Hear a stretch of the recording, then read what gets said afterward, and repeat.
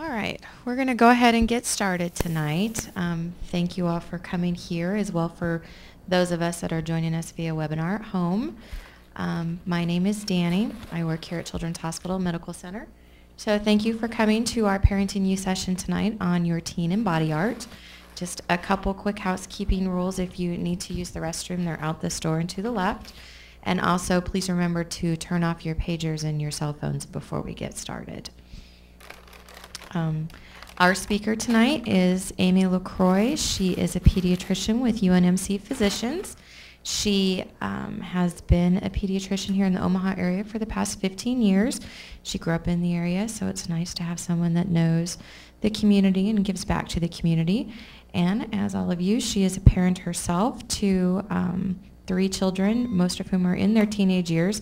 So not only can she offer you that practical clinical advice that we all love to hear so much, but she can tell you how it is as a parent as well. So without further ado, I present Amy LaCroix.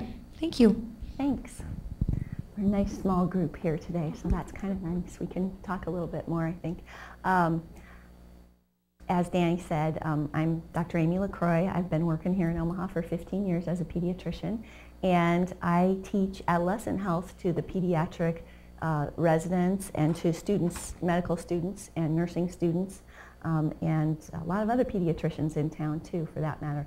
Um, so that's kind of my special area of interest that I bring to this is um, I do a lot of adolescent health care, and I find that adolescents are very interesting and entertaining. And one of the most interesting things um, about some of my patients is some of the art that they choose to express themselves with. Um, some of them bring their art in to show me and some of them wear their art in, um, in the form of their clothes or in the form of body art. And um, body art goes by a lot of different definitions, but generally speaking, um, when people talk about body art, it is either jewelry or ink um, or scars that are put there purposefully um, on someone's body for different purposes. One of them is just because someone likes them. Um, they think it looks good and it looks nice. Uh, another reason that some people use body art is as a form of identification. I belong to this group and we all do this, those sorts of things. Um, and uh, so, so tattooing, piercing, probably almost everybody anymore has traditional piercing, the, the earlobes pierced. But piercing has come to mean a lot of other things, has gone all the way up the ear and around the ear and in the front of the ear, um, can also involve other parts on the face or other body parts um, anywhere in general really can be pierced. And um, branding or uh, scarification is really one of the more unusual forms of body art. Not too many people um, uh, participate in, in branding or scarification, but it involves basically um, repeated trauma to an area in a pattern that makes um, basically a big scar or a brand that never goes away. Um, got that? Anyway, um, and that is something that's done, done uh, less often, but you will see occasionally in adolescence. And, um, and lastly, we're starting to see more and more kids who are doing something called insertions. And insertions are placement of um, rods or bars under the skin. Um, so they create an effect by, by showing their impression. So often you just see an impression in the skin and there's something underneath it. So that's a little different and um, not, hasn't gotten a lot of popularity in this area yet, but I'm starting to see it more in some kids that are very unique. So, so those are the things that I'm talking about when I talk about body art. Um, and these are just some examples of different kinds of body art that people have.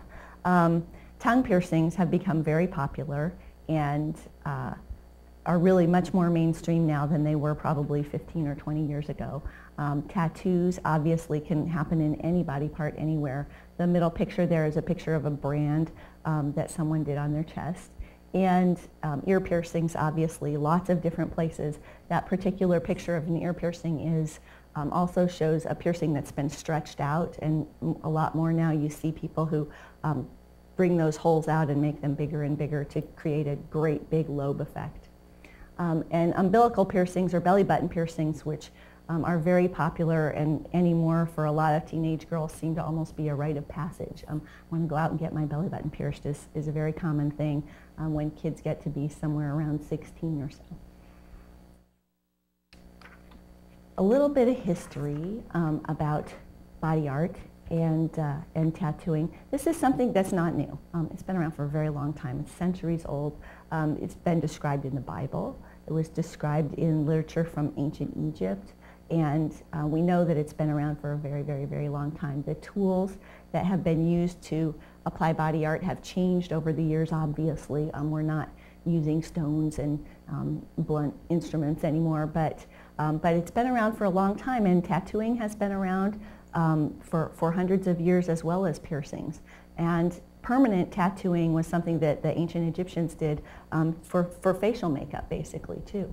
So these are things that have been around for a long time, and um, by and large are relatively safe. Okay? Now, that's not saying they're not without consequences, and I'm going to talk about consequences um, at some length today. But considering the length of time that these things have been done and the numbers of people who do them, there are relatively few complications. So that's, that's something to be, I think, comforted about when your kids are asking about body art. Um, reasons for body art I talked about a little bit earlier, um, to affiliate with people. So a group of kids decides we're all going to do this together. This is our sign. We're all going to get our, our uh, nose pierced today, and this is a sign that we belong together. Um, ownership, okay? People have forgotten about this, but some body art means that, you've, that you belong to someone or that, um, you know, they were used often to, to mark slaves in the past. And that's something that people have forgotten about, but it was a big reason for a lot of different kinds of uh, body markings. Um, and then just beauty and adornment. And um, a little bit about the tools over time. Um, this is a picture of what a modern tattoo machine looks like. And um, basically, um, this is a, a, variation of the, auto, of the um, uh, autographic printer that Thomas Edison invented in the 1800s, in the late 1800s. And uh, it sort of works a lot like a sewing machine, basically. Um, the tattoo machine has a needle in it that moves up and down very rapidly. And um, in the hands of a tattoo artist, they they put uh, ink on those needle points and the needle goes up and down anywhere from 50 to 3,000 times a second. They're very fast and they deposit ink underneath the top layer of the skin, so into the dermis of the skin. Um, that ink is then sort of eaten by cells that live in that area. They're called macrophages. And when they take that ink up, that's a permanent stain. So that's not something that's going to come off. It's really under the top layer of the skin and it's meant to be permanent. And that's one of the things that's really important about tattoos and talking with your kids about tattoos is this is something that is meant to be permanent. It's not coming off unless we do something really drastic. Um, so that's an important thing for, uh, for kids to realize. Um, and they're held in the hand, and that, the end of that uh, tattoo machine there is really about the size of a pen. So it's, they're, they're really handheld, they're very small, and they're easy to use. Um, a little bit of information is important about what are the rules and regulations, or are there rules and regulations about uh, body art and who can get body art? Uh, you know, does the state say that you have to be a certain age in order to get body art, um, in order to be tattooed or to be pierced? Nebraska state law um, there, there was a revised statute that came about just a couple of years ago um, that really um, listed everything in detail as far as what the law says with regards to um, body art, which is that parental consent is absolutely necessary if someone is under 18 years old and they want to have a piercing or a tattoo um, or, or other kinds of body art that applies to that as well. Um, and this is actually a law that's under another law in sort of under the heading of cosmetology under Nebraska Health and Human Services. But um, it's, so it's important for parents to sign on the dotted line. And if parents aren't present, they're actually supposed to have like a notarized statement um, from parents that says that it's okay, that's been notarized. So um, parents are supposed to be there in person with their identification and sign when, when a minor gets a uh, tattoo or, or a piercing done. Um, I think it's important to remember about, about tattooing and piercing. This is an apprentice trade. This is something that um, there's, no, there's no school that people go to to learn how to do body art or how to pierce or tattoo. they learn how to do it by working with someone else who knows how to do it. And the longer they apprentice, the more, more credit they should have. Um, and usually the better experienced they are. But most apprenticeships last anywhere from a year to three or four years, or longer if people are interested in doing more complicated things. Um, but more than three years is pretty unusual um, for someone to apprentice. So, um, so it's an apprentice trade, and it's really very much self-regulated. Some states have laws about uh, who can and can't um, have a shop, but many people learn how to do body art or, or many artists learn how to do their trade and then go practice. And they may, may practice out of their own home or out of their own basement. Um, and a few of them have body art shops or work together in shops. Um, many shops are regulated and you can, uh, the state of Nebraska has certain laws about having a business that provides body art and certain rules that you have to follow. And I think that that's a really good thing is to look for if, you if your adolescent is interested in getting a tattoo or getting a piercing, it's probably a very good idea to try and find someone who works at a shop that is approved by the state and that follows the, the OSHA guidelines and belongs to perhaps the, the Alliance of Professional Tattooists or um, the Association of Professional Piercers. They have rules and regulations that they would like their practitioners to work by that are very specific um, such as um, if you are a piercer, um, you have to sterilize your instruments that you use and you should have an autoclave on the premises. And an autoclave is a big oven basically that you use to sterilize instruments with. Um, and so to belong to um, the Association of Professional Piercers, you have to have an autoclave there and you have to use it. Um, the same as far as the, the Alliance of Professional Tattooists, you have to have worked for three years in a permanent location. And that says something about your credibility as a tattoo artist and um, your ability to, to respond to the people that you work for um, and to be around to help them if they have problems or they have aftercare problems. So those are things that you can look for um, in an artist to make sure that you feel like they're very competent, they've been around for a while, they know what they're doing, um, and they're going to take care of you. Um, one of the things that I didn't mention was that uh, a, a, lot of these associations also have requirements about knowing first aid, um, having a first aid kit around, um, and a lot of things about disposal of, safe disposal of, of blood products and needles and things like that um, that are really important. Um, so what are the benefits of getting, of getting a tattoo or getting a piercing? Um, I think that you have to really look at benefits and risks when you're talking about doing anything that might affect your health. Um, and the benefits for adolescents of getting uh, any kind of body art have to do with um, improving their own self-identity. Forming your own self-identity is a really important thing during adolescence.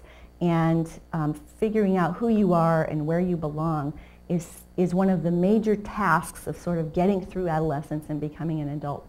And for some people that means dressing differently. For some it means dressing the same. For others it means wearing jewelry or belonging to a group or playing sports.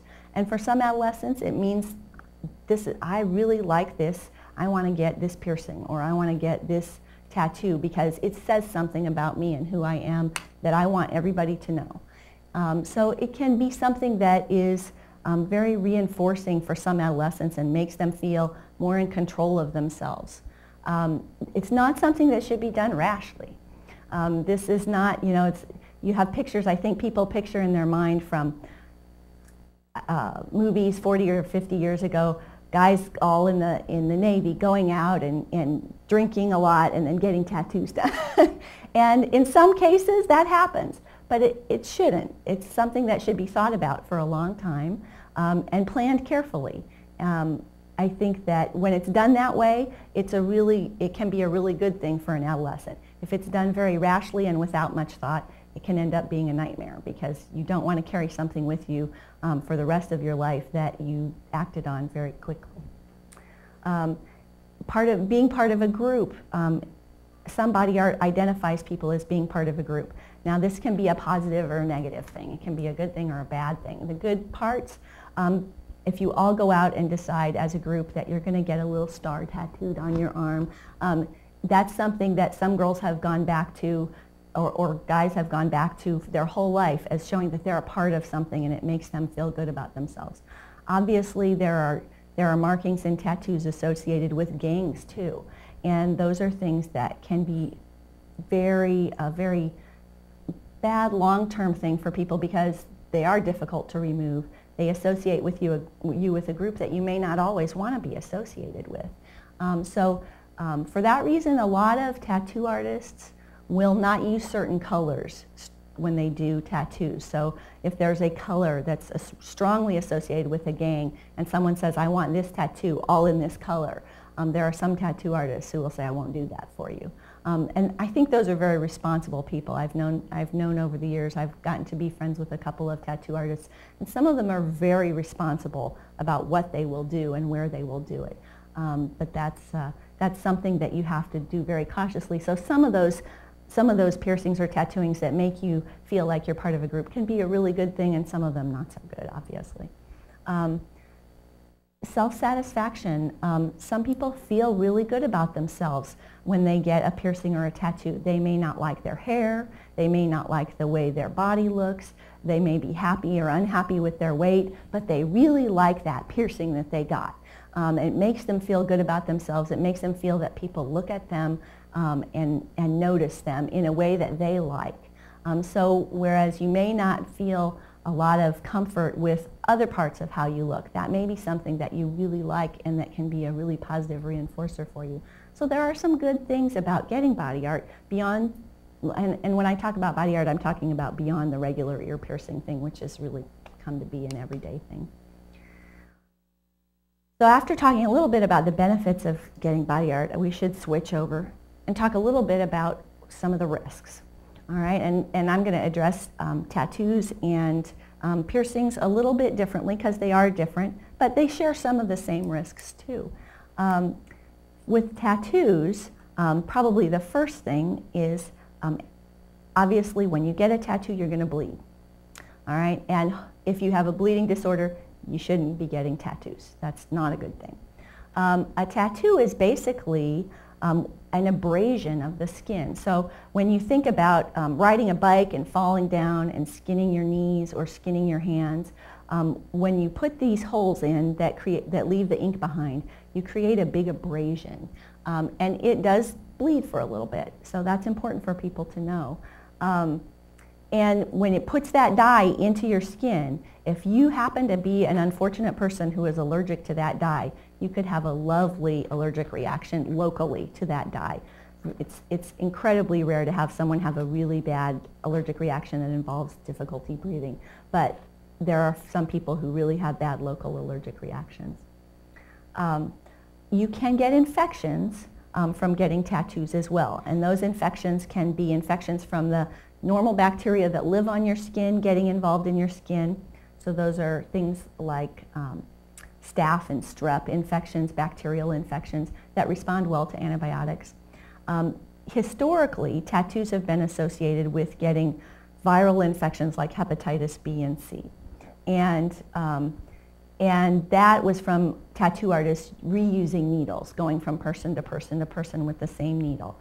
Um, it's much, much less common today, much more rare than it used to be. Um, but because of that association, we still think it's really important that if you're going to get tattooed, you should have hepatitis B vaccination in you. Um, there is a risk of getting HIV from reused needles, just like there is from reused needles anywhere else. Um, however, it's really a, a, good thing to say there have been no known cases of HIV um, in the United States ever that were associated with getting a tattoo. Um, so that's a nice thing that I can say about that. Um, tattoos um, change with time, and that's something that it's important for, I think, anybody to think about when they get a tattoo. Um, the sunlight makes them fade. So if you get a beautiful, bright, colorful tattoo, um, over time, that's going to fade and look differently. And if you want it to have that fresh appearance again, you have to get it redone. Um, and some people aren't aware of that, and they think it will always look the same. So when you get a tattoo, the, um, the artist who put it there will tell you, keep it out of the sun. Um, and some people don't know that. And if you love the sun and you get a beautiful bright tattoo, you're going to find that it fades pretty quickly. Um, so that's an important thing for kids to know. And um, people get tattoos placed in a number of places all over their body. And it's also important to realize that your body changes with time. And so that the tattoo that looked really good um, on your lower abdomen after you've had three babies may be really stretched out and look really funky. So, so it's important to think about where you're going to put your tattoo and be strategic about that.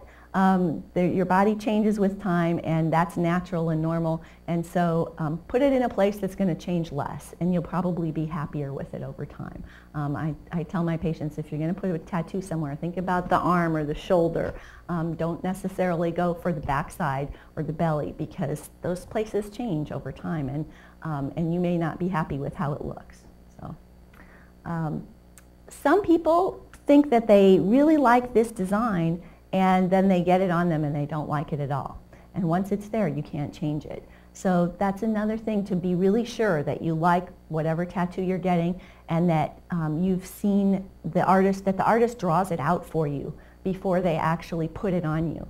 Um, most good tattoo artists should show you um, their artwork. They should have a book full of their artwork, not just tattoos, but actual artwork because they are artists and you should be able to look at their art and get an idea for what they can and can't do. And then they can, that way they can show you the, the things that they've done. And, and if you want them to do something, you can gear it towards what they do really well. Um, and if you go to a tattoo artist and you say, this is what I want, can you draw me out a picture? And they draw it for you and it's kind of, eh. Don't go to another tattoo artist. Don't settle for that um, because you need to go to someone who can do what you want. Um, obviously, body art is painful to some extent. And people need to know that, it, that it's going to hurt. No, they're not going to give you any local anesthetic there. Um, they're going to clean you really well. They should clean your skin off really well to keep you from getting infected. But they're not going to give you any anesthetic. And you're not supposed to take any drugs before you go there. So you're not supposed to take um, ibuprofen or Tylenol or anything like that. And they definitely don't want you to drink alcohol before you go get a tattoo because alcohol actually kind of acts as a blood thinner and makes you bleed more. Um, so any respectable tattoo place won't put a tattoo on anybody who's been drinking um, anymore. So that's important too. Um, and they can be expensive. A little teeny tattoo might cost as little as $50. Great big tattoos with lots of color or lots of detail can be thousands of dollars. Some people really um, almost become addicted to getting tattoos and they can cost a lot of money. So it's important to know um, what your limits are as far as your finances and how much you can afford before you go into the shop. Um, and lastly, stigma. And stigma applies to both tattoos and to um, piercings a lot of times people don't think about what other people are going to think about their tattoo or their piercing um, until later. And it's important to really spend a lot of time thinking about it um, because when you go in for a job interview, people do look at you differently if you have a piercing in an odd place or a tattoo in an odd place. Um, one of the things that can be said positively for certain piercings is that they can hide well. Um, you can hide an umbilical piercing under your clothing. Um, you can hide a tongue piercing pretty well. And um, some, of the, some of the nose piercings that go through the middle of the nose can be flipped up and completely hidden, so people won't make judgments. Um, ear piercings, females can hide under their hair, but males not so easily. So it's important to realize that people do make judgments based on what you look like, and they may help you or they may not. So it's got to be something you're really comfortable with before you get it. Piercings um, have some, some of the same risks and some different risks. Um, allergies to metal are the biggest difference in piercings. You have um, a metal that's going through your skin and you better make sure that it's really hypoallergenic because if you're allergic to that metal, it can cause a bad reaction locally um, and a lot of distortion of your skin. It can look like an infection and just be an allergic reaction.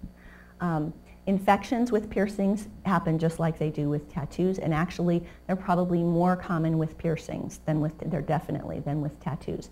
Um, it's, prob- it's estimated that somewhere between 5 and 10% of piercings get infected at some point, and that may be initially or it may be later on. Um, and it, infection can be associated with the initial piercing pro process or just with the cleaning that you're doing because if you take dirty hands and you go to rotate a piercing and clean it, then you're bringing infection up to that area. So, um, so that's a big risk with, with any kind of piercing. Um, migration. Um, piercings, the body's natural reaction to a foreign body inside of it is to try and get rid of it. Um, so if you've ever noticed if someone gets a sliver, their body will push that sliver out eventually most of the time. Well, sometimes the body reacts to piercings the same way and tries to get rid of it. And if that happens, you're just out of luck. Um, that's why it's really important to go to a professional piercer because if you um, go to someone who doesn't really know what they, they're doing and they just barely get something in under the top layer of skin um, and they don't put it in the right way, you're much more likely to reject it and be left with just sort of a funky little opening in your skin than if you go to someone who knows what they're doing and gets it in the way it's supposed to be gotten in, under, really under the dermis. Um, disruption of normal body function. Um, that has to do more with where specifically you put your piercings, all right? I didn't focus a lot today on piercings besides face and body, but genital piercings can interrupt with um, sexual function. Um, breast piercings sometimes can, can mess with lactation if you want to breastfeed your baby. Um, not, most of the time they don't, but sometimes they can. Um, and, um, and you have to remember that any uh, any piercings that you do inside your mouth are going to clunk into your teeth if you're not careful. Um, they have to be removed if you go to the dentist or if you have surgery where you need anesthesia. Um, it's important to remove them. Um, and if someone is really an allergic individual, I would not recommend that they get piercings around their eyes or their nose because if you're blowing your nose all the time or you're rubbing your eyes or your nose because you're itchy and allergic, um, you're going to those are more likely to get infected. And so that's probably not a very good idea. So you have to think about the individual person and what their risks are too. Um, oral piercings, um, uh, you can aspirate too. Um, if, if you're not, if they are loose, you can get them in the airway and that's not a good thing. Um, and initially especially, people will notice their speech is different if they get a tongue piercing or an oral piercing. That should get better with time, but for some people it never really changes, so it's a risk and you have to decide if that's a risk you're willing to take. Um, embedding. One of the reasons that I got interested in body art was um, after taking out earrings that have had been uh, pulled through the ear the wrong way and become embedded in the ear. Um, if, you, if your earring just gets pulled through the wrong way, either the stud in the front or the little butterfly in the back can get stuck inside the ear. And that can be a very difficult thing to get rid of. So, so um, piercings can get embedded and be really difficult to remove. I had one patient come in to see me after hers had been in for about a year and a half because she was so afraid to get it taken care of and it had completely closed over it and basically we had to do a little minor surgery on her ear to get her little earring post out. So um, so that can be a big deal sometimes. Um, so it's important you always keep track of those earrings and you make sure they're in the way they're supposed to. Um, interference with imaging. If you wear a, if you have a metal piercing on, you have to take it out before you go into a CT scanner or it causes sort of dispersion or dispersion of the x-ray image everywhere and you get a horrible picture. Um, likewise, there are some dyes that have enough metal in them that they interfere with MRI testing. Um, so some, although you can do MRIs on people with tattoos, there are some tattoos that will interfere with those images. That's just something to be aware of um, if you have to have those kind of tests done. Um, uh, and we talked a little bit about pain and expense and, and stigma already. Um, keloids is another thing that's important. If you're a keloid former, um, boy, um, I'd be reluctant to get any um, tattoos or piercing done. And keloids are big scars that people get with cuts. They're much more common in darker skinned people and, and African Americans and Africans. But um, if you form keloids, then you, you probably want to stay away from piercings because you're going to end up with a big keloid. Um, infections. Infections are much more common in piercings. They're much more common at the belly button. Um, and the reason for that is when you, when you pierce your belly button, all your pants ride there. Um, so you're supposed to not wear anything constrictive around a piercing, but it's difficult to do that. I don't know too many teenagers who wear nothing over that area. There's almost always something there now. And today it's a little easier than 10 years ago when pants were up higher. Today pants are down lower, so they stay away from that area. But it's really hard to keep that area from rubbing, and so it gets irritated more often and it gets infected more often. So belly button piercings are probably the, uh, the most commonly infected piercings. Um, when, when a piercing becomes infected, it's important to not remove the jewelry in it if you can at all, possibly not remove it. Because the jewelry that, provides a, uh, a way out for the infection. If that's in place, there's a drainage hole there. There's a drainage system there. And when, with skin infections, being able to drain is really important. So infections need to be kept clean um, and soaked regularly, and you probably need to take antibiotics but you, you should leave the jewelry in while you're getting it fixed, while the infection is clearing, to leave a place to drain. And if you take the jewelry out, you should put something else in, in its place really fast to keep that hole open so that in, the infection can get out and drain. Um, and the treatment depends sort of on what's infected. Um, ears and or, or some piercings tend to get the, the stuff that live on your skin, which is bacteria called staph or strep. But upper ears especially tend to get something called Pseudomonas, which requires a completely different kind of medicine to treat than, than plain old staph or strep. So it sort of depends on where the piercing is, what you get treated with as far as the infection. Um, but most infections are very local. Um, I want to see if I have a... Uh, bacterial infections um, with tattooing, I talked about staph and strep. With piercing, Pseudomonas in ears. Um, and, and I think it's important to remember that tetanus is still out there. So it's really important to have your tetanus immunizations up to date if you're getting pierced or tattooed. Um, tetanus spores are everywhere and um, tattooing and piercing put you at risk for getting it. So it's important that those immunizations are up to date too. Um, we talked a little bit already about viral infections like hepatitis B and C and HIV. People with impaired immune systems are at risk for a whole bunch of other infections. So those, if you, you know, if you have children or you know anyone with children who have problems with their immune system, these are patients that are at much higher risk for getting infections from doing uh, piercings or tattooings, and I think that they need to be extra cautious.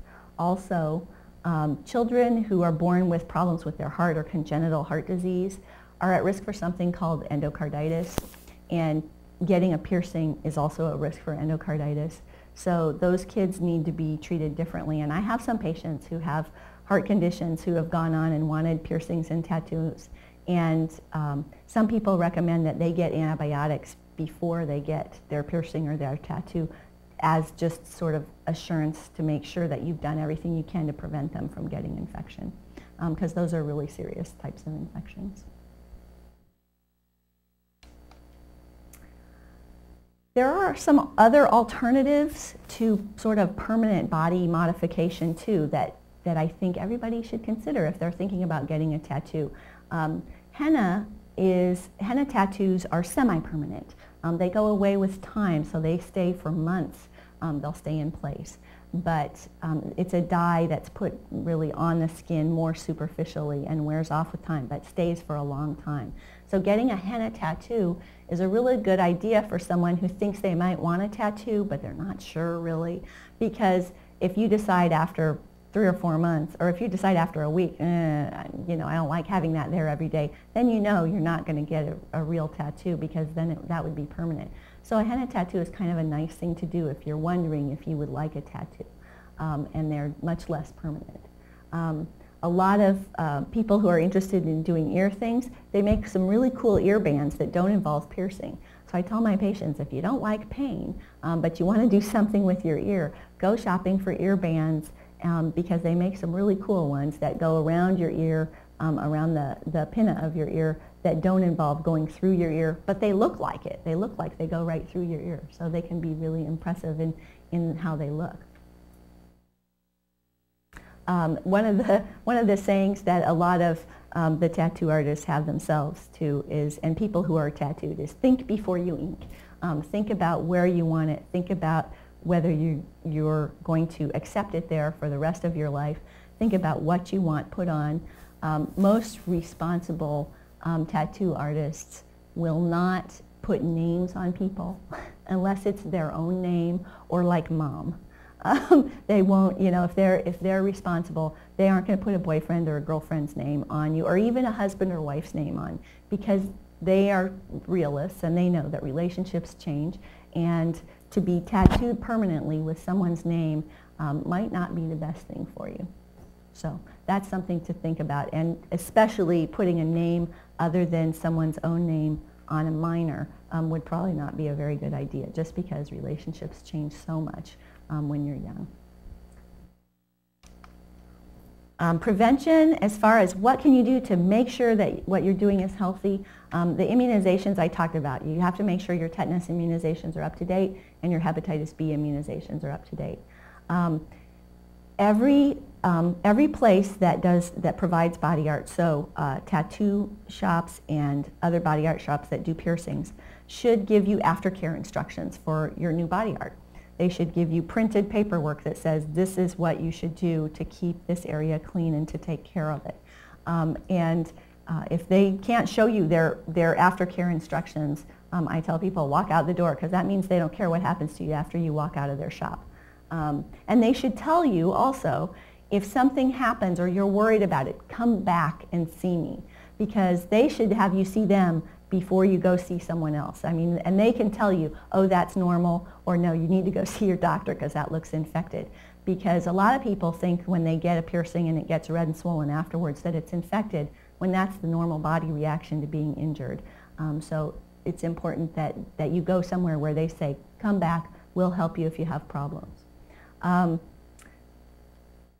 healing can take a short amount of time or a very long amount of time, depending on what you're doing. Um, most tattoos um, will go, go through a phase in the first week where they look pretty red and awful because they're abrasions and they take time to heal. Um, but by the time they hit about two or three weeks, they're looking pretty good usually. Um, you really don't want tattoos to get a scab. And if they get a scab, you don't want to pick it off because that is, will, will interfere with how the tattoo looks. For, for simple things, just a few weeks heal. For complicated piercings, um, it can take months to even a year or more for them to really completely heal and, and be a nice clean tract. Um, and that includes um, umbilical piercings or belly button piercings. Those can take months to really heal well, six months to a year sometimes.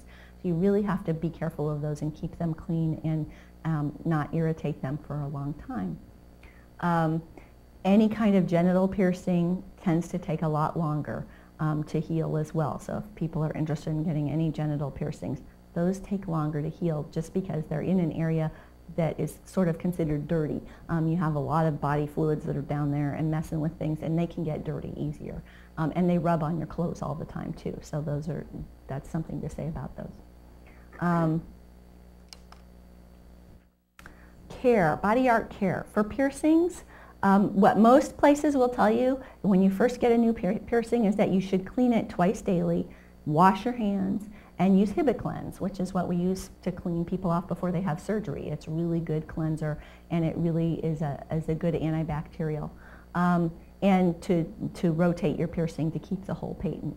Um, they don't like it when you use peroxide because that irritates the area a lot, so people shouldn't use peroxide anymore um, keeping constrictive clothing away from the site. And then for oral piercings, they will have you rinse your mouth and use mouthwash several times a day for, for several weeks till they know that that's really well healed too.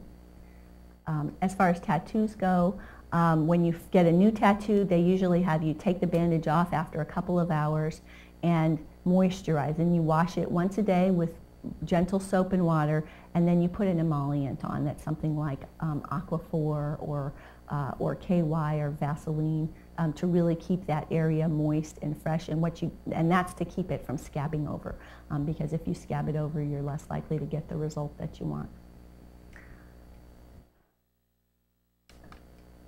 Piercings. Um, one of the things that I think is really important to know about piercings for people in general is that um, we see a lot of piercings done at the mall with the little gun thing. And the best way to do a piercing, that's okay for your earlobe. your earlobe is pretty um, hardy and it can take a lot of abuse. Um, but basically when, those, when you get yourself pierced with a gun, it, puts, it pushes a blunt object through your earlobe. Um, it's not sharp. It's not, a, it's not a cutting edge. And so it's very traumatic. To use those on anything but an earlobe would be, is, is just a bad idea. So if you're going to get piercings done anywhere where there's cartilage, you should go to a piercer um, because they're going to use a cutting needle that's going to go through and cause much less trauma and it's much, much less likely to become infected or have complications because of that. So that's, that's an important thing to know. Um, metals that, that are part of your piercing product that you buy. So aside from the cost of actually getting the piercing, you also have a cost of getting whatever you're going to put in there. um, and inert metals are the safest things to get put in those holes. Gold is at the bottom of the list because gold has other things in it. Um, so, um, and silver shouldn't be anywhere on the list because silver has all sorts of things in it, especially nickel, which a lot of people are really allergic to. Um, but surgical grade stainless steel are what a lot of piercers use these days. Um, it's cheap um, and it, it causes very little in terms of reactions. Um, and then there are more expensive things like titanium, um, niobium, and, and now Teflon. Yeah. um, and now Teflon. And, um, and those are really inert and don't cause much in the line of reactions. So. Um, and then what about the shop? So if you're, if you're taking your kid out and they say, okay, um, I would really like um, to get my, uh, my lip pierced. Let's go looking at places. Um, I'm not going to tell you where to go and where not to go in town. I think there are a lot of good places that have a lot of high standards for, for doing body art here in town. Um, but there are questions that you should think about and that you should ask, and we've talked about some of them. Um, do they have an autoclave? Um, and, and, any piercing shop should have an autoclave. Um, is everybody in the shop who's doing stuff wearing gloves? Um, that's an important key to are they good at practicing safe hygiene? what you should watch them. If they're doing a tattoo they should be opening their ink fresh in front of you um, and not reusing ink from someone else. Um, do they open their needles from sterile packages when you go there? And if you see things that you don't like get up and leave.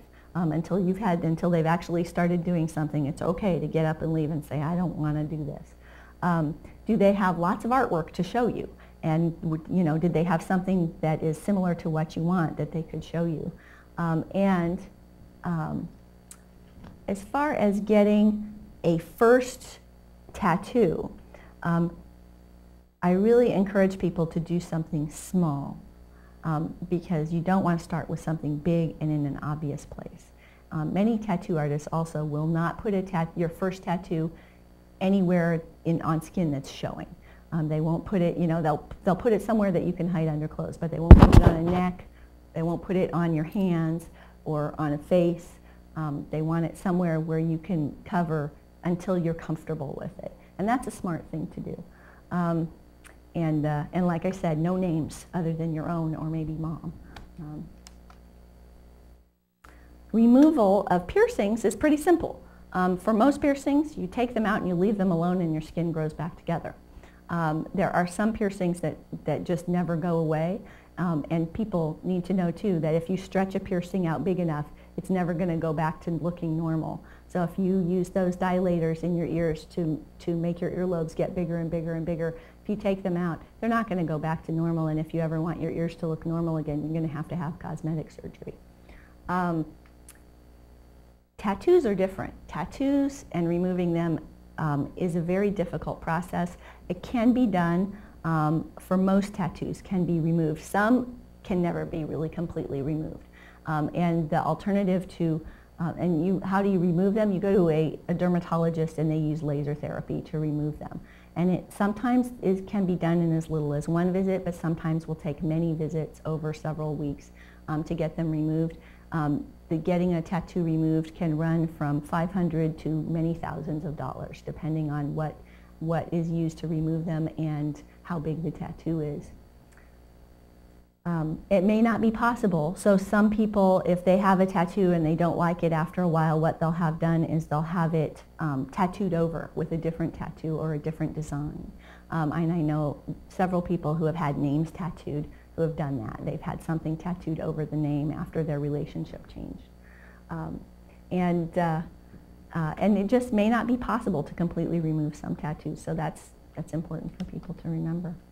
Um, and then I, I put a few resources um, on, the, on the list. These are um, websites that have good information um, for parents on body art, um, if you have any interest in reading a little bit more about it. And uh, the first, I think the first three references on the list were from, uh, are specifically directed towards health concerns and parents. The last one is a little bit more of a detailed article um, about tattooing and piercing, but it's very up to date. So um, I thought that I'd put it on there because I think it's a really good reference.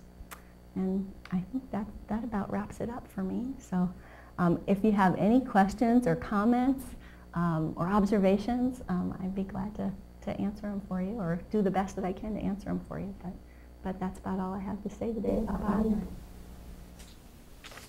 Thanks. Should any of you have teenagers? I do. Do you? Yes, and he's found and determined he's getting tattooed this summer. Uh-huh. Well, you know, I think that um, if, if there's a lot of determination to get body art, one, one of the first things that is really important is that um, you make it very clear that you don't want them to do it themselves or have a friend do it. Um, a lot of kids will try to do body art themselves, or especially with piercings, not as much with tattoos, or they'll find someone who does tattoos out of their garage, um, and they'll do it cheaper. Um, and I would, you know, I, I try to encourage people away from that because I think the quality control is not nearly as good if you're going to someone's garage um, and they're and they're doing it out of their garage. And well, and I really don't want him to have it done. Yeah. Um, so I'm, I'm trying to find reasons to deter him. Yeah. You know, his it, father is mm-hmm. apparently going to sign for him, so I'm I'm trying to get as much information and Okay. knowledge so that he makes wise decisions. Yeah, And absolutely. like you said, if he's going to live with it, and if he's done and determined he's going to do it, he's going to make a Right. good decision. There are, and you know, I, I think that um, people have strong responses one way or the other to, to a lot of body art.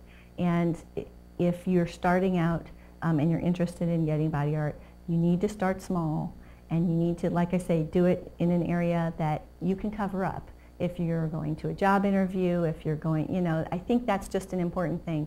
Um, I have, um, there are people who I know who have body art everywhere and love it um, and are very proud of it.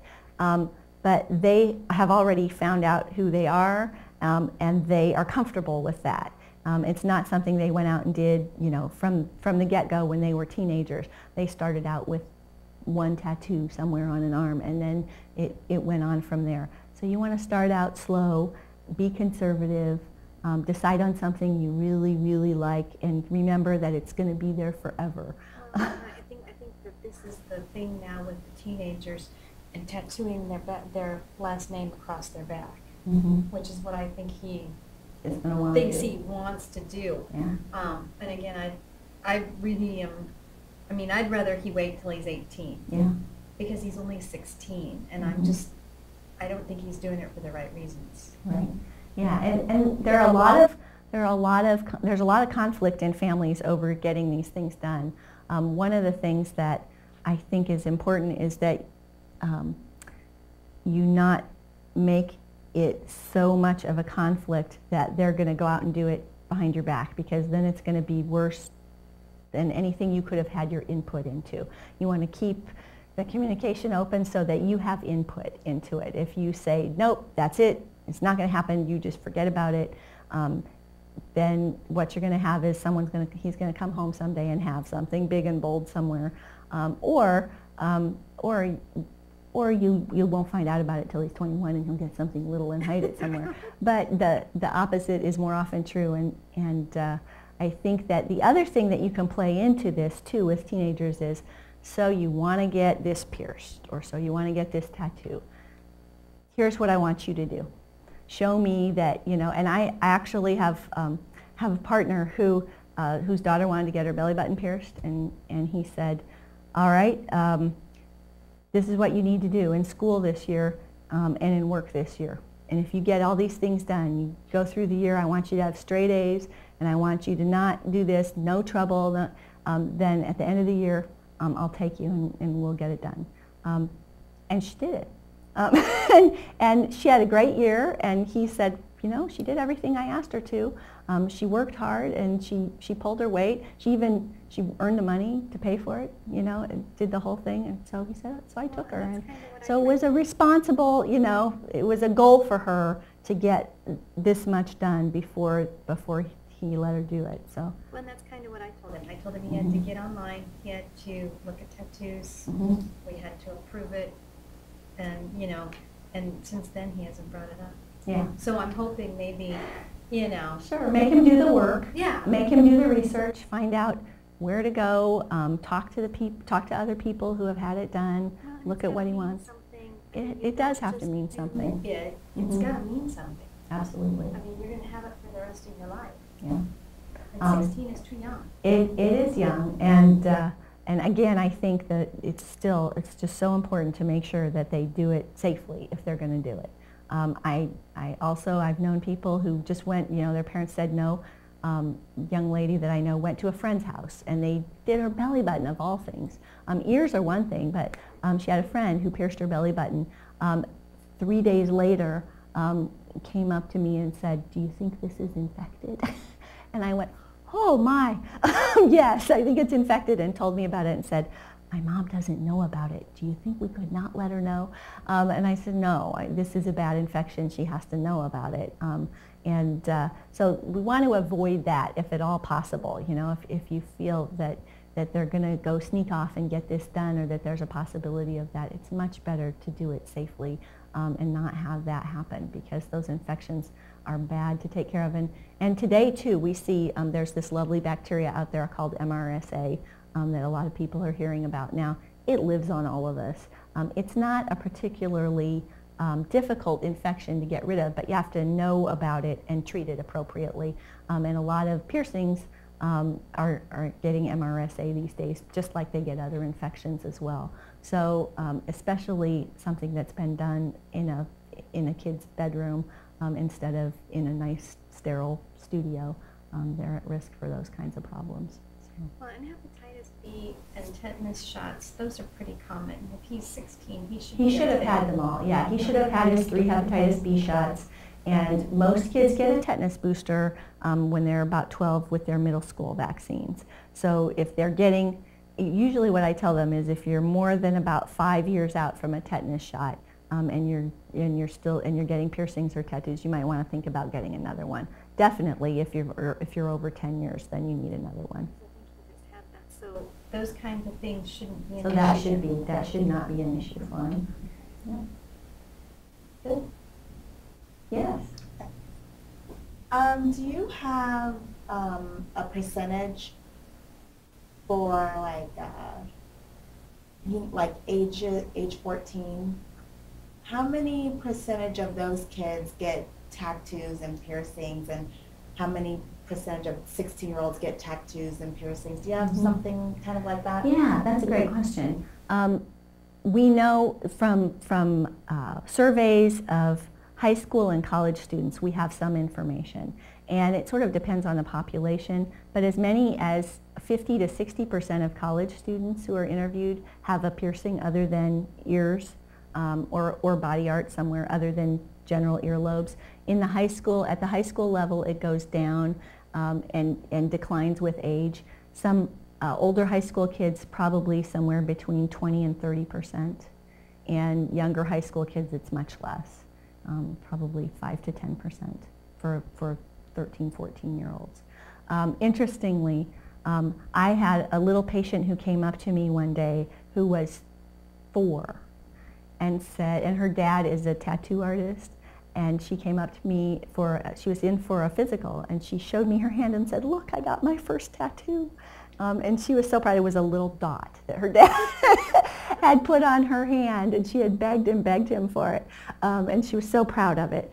Um, but, um, but so we see, and I do see littler kids come in with little little tattoos or or different piercings too, including eye piercings, and yeah, little little teeny things that they've asked for and, and begged and pleaded for because it's a because it's a norm in, in within their family. Usually with little kids who are asking for that, it's because it's a norm within their family, um, and they want to be a part of the family.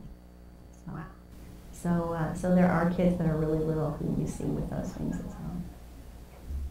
Wouldn't that change though as they grow?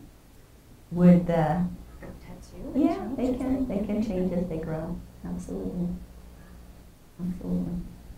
Um, and there are really extreme sorts of body modification I didn't talk about today. You'll see pictures of people um, on the news who they'll say this is the lizard man who's had who've had their teeth all filed into points and had scales tattooed all over their body and um, had their their tongue split and those are not things most teenagers have any interest in. I mean they they don't want to do this to be um, freakish or outlandish. They want to do it to fit in.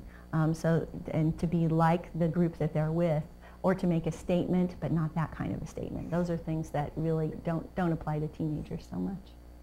Are tattoos becoming more and more mainstream at this point? Um, are tattoos becoming more main? Absolutely. Um, I think tattoos are becoming very mainstream. Not not wildly tattooed people, Right. but um, it's very common to see. Um, actually, um, I work with someone who um, who got her first tattoo when she was 40 on her birthday for her 40th birthday. Um, it's just a cute little tattoo on her ankle. Um, but you know, she she it was something she really wanted to do, and I don't think you know anybody thinks second at all about a small tattoo in a discreet place.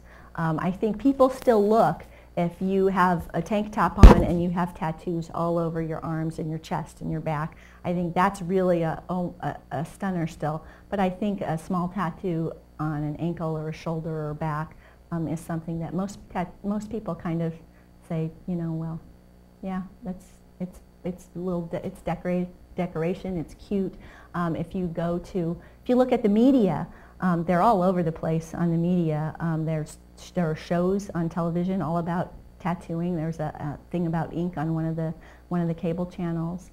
Um, even just uh, looking at typical shows that a lot of adolescents watch. Friends isn't on TV anymore, but they run the reruns. They did, I think one of their shows was all about one of the characters getting a tattoo. Um, if you look at mo- the movie stars, and if you look at the Academy Awards and watch the Academy Awards, you see some of the biggest movie stars that have tattoos on their hands or their back, or you know, you see um, Brad Pitt and Angelina Jolie um, are, are have tattoos all over, and um, they're beautiful people, and everyone identifies them as beautiful people. That takes a huge stigma off of tattoos. If a beautiful actor and actress wear tattoos that are big and bold, and you know, who's going to criticize that? So, Well, they're kind of addictive though, so usually if you get one, yeah. You know. There, there is an addictive nature to getting some of these things done. Um, it, it is, um, we know that when people get tattooed, it, it's painful and pain produces endorphins and endorphins are a really nice feeling. And so there are people who really will tell you, oh my gosh, I just, I get one and after a while it feels really good. It's really cool. And plus then you get this really neat body art afterwards. Um, but it is kind of a little bit of a rush and it can be kind of, it can be addictive on more than one level for people when they get those things. More with more with tattoos than with piercings. Um, with a little with a little tattoo, you, you're not gonna they're not gonna be working on you long enough that you're gonna get that. But if someone's tattooing your whole um, lower back or your whole arm, then then you're gonna be they're gonna be working on you for a few hours, and and you're gonna you're gonna end up with that. So, Is the laser removal a painful process? yes, it's uh, usually it's as painful as getting the tattoo. So, and, and it is a painful process. I mean, it's not, um, it's, it's not as painful as some things are, but it is a painful process to get a tattoo. It stings. Um, and uh, I tell people, I have patients that the, the nearest thing that I think I could probably compare it to that would be on track was um, when patients come in and I treat warts, I freeze their warts, it burns like that. And, getting a tattoo is kind of like that. It, it, it really irritates your skin, and so it stings. Um, uh, what was I going to say? Um, and, and obviously, um, the more some some areas of your body are much more sensitive than others. So getting a tattoo on your shoulder isn't going to be nearly as sensitive as getting one on your lower abdomen or um, um, I think back is okay, but if you go down, some people get them on their buttocks. That's a sensitive area. so it sort of depends. I've seen people get them on their breasts. That's a really sensitive area. So it just sort of depends where you get it, how sensitive. Your hands are very sensitive. So. Mm-hmm. Good. Well, thanks a lot, guys. Been very interactive audience, although we were small. That was good.